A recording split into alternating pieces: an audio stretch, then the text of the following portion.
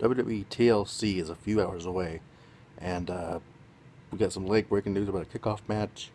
Uh, we didn't know there was, what there was going to be as a kickoff match, and it's interesting to me that this match is the kickoff match uh, out of everything on this card. This one is a kickoff match, a match that was on several NXT Takeover shows. Possibly could have been main events of those shows, to be honest. Uh, Becky Lynch versus Sasha Banks. And uh, I don't know what to say about this. I mean, this is a match that you could win. That any, any of these people could win this match. Uh, but why is this the kickoff match? Why is this match the kickoff match? Why not? Just looking at all these matches, why not the fucking U.S. title match uh, compared to this match? This is a great match.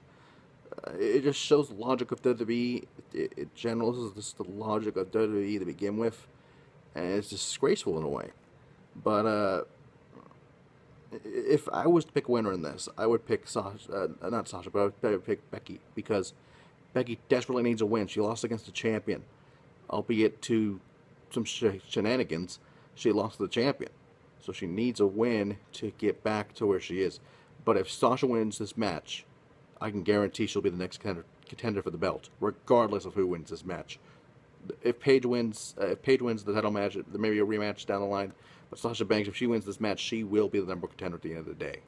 And with that being said, TLC is two and a half, almost two and a half hours away. So we'll see what happens with this one.